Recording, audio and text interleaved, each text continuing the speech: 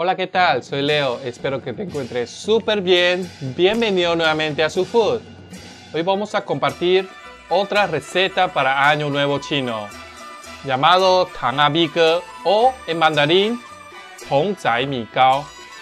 Es una receta tradicional que se hizo popular en una de las ciudades de Taiwán.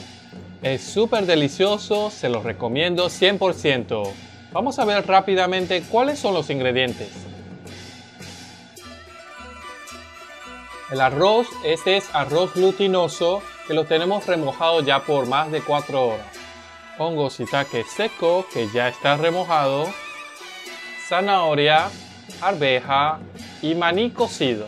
Este maní ya está cocido con agua hirviendo. Y para los condimentos tenemos aceite de sésamo, salsa de soya, pimienta negra, sal y azúcar. Aquí les dejo una ficha con la cantidad de cada uno de los ingredientes. Primeramente vamos a poner a cocinar el arroz glutinoso. Primero lo vamos a escurrir y luego lo vamos a poner a cocinar. Por media taza de arroz glutinoso agregamos una taza de agua. Lo puedes cocinar bien sea en la paila o en la arrocera, da el mismo resultado. Los ingredientes que vamos a picar únicamente son la zanahoria y el hongo chino. La zanahoria y el hongo chino ambos lo vamos a picar en cuadritos pequeños. Esta receta, la esencia está en la combinación de el hongo shiitake y el maní cocido conjunto con el aceite de sésamo. Hace una combinación increíble y es un sabor muy tradicional chino. El hongo antes de picarlo lo tenemos que escurrir y exprimir bien bien para sacar toda la humedad. Una vez listo, lo montamos a freír. Lo vamos a freír directamente con aceite de sésamo para que el hongo pueda expulsar todo su aroma y a su vez absorber el aroma del aceite de sésamo. Luego de unos instantes, entonces agregamos la zanahoria. Cuando veamos que la zanahoria ya esté bien cocido, agregamos el resto de los ingredientes. El maní cocido y la arveja. Lo mezclamos bien y agregamos los condimentos. Sal, azúcar, pimienta y por último, pero no menos importante, la salsa de soya. Vamos a colocarlo alrededor para que tenga contacto directo con el fuego. Como había comentado en muchas oportunidades, esta es una técnica muy tradicional que se utiliza en comida china. Que la salsa de soya tenga contacto directo con el calor para que expulse toda esa aroma que tiene. Lo revolvemos bien y agregamos una tacita de café de agua únicamente para que todos los ingredientes puedan hervir y combinar todos sus sabores, expulsando todo lo que tiene y a su vez cuando se vaya secando entonces se recoja y se concentre todo ese sabor. En cuestión de 3 minutos podemos ver que ahora se ve que ya se ha recogido la salsa y así estará listo. Al mismo tiempo ya tenemos el arroz listo el arroz glutinoso lo tenemos que revolver cuando está caliente para que se pueda soltar, porque este arroz es muy pero muy pegajoso.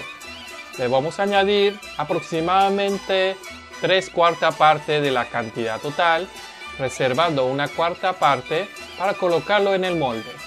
Lo revolvemos bien hasta que quede totalmente pintado de color café y bien uniforme. Esto se tiene que hacer cuando el arroz todavía esté caliente para que sea mucho más manejable. Escogí este molde para esta oportunidad y le vamos a aplicar aceite, aceite vegetal, cualquier aceite que usted tenga. Colocamos una capa muy fina para que luego sea mucho más fácil despegarlo. Agregamos esa parte que reservamos en la parte de abajo que luego que lo volteamos quedará encima. Lo acomodamos bien para que esté bien planito y agregamos el arroz. Lo vamos a colocar bien comprimido. Le hacemos presión para que esté bien compacto.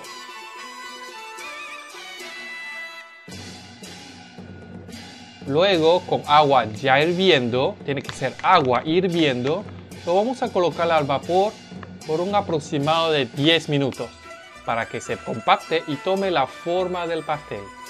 En la antigüedad, esto se utilizaba en moldes con bambú, que más adelante se convirtió en moldes de acero inoxidable. De forma casera, podemos utilizar cualquier taza que pueda entrar a la vaporera.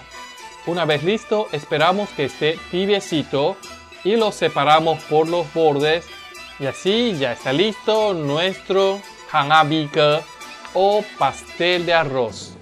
Se suele acompañar con una salsita de tomate dulcito y ácido. La pronunciación de esta receta en mandarín tiene una similitud al sonido de ascenso, de progreso, de mucho éxito. Por eso es una de las recetas de Año Nuevo Chino. Igualmente ya compartimos varias recetas en los videos anteriores. Si no lo has visto, te dejo el link en la cajita de descripción abajo.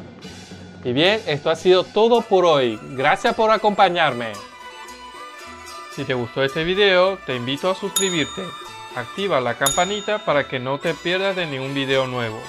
Dale like, deja un comentario aquí abajo de qué tal te pareció comparte con tus familiares y amigos y nos vemos para la próxima. Chao, chao.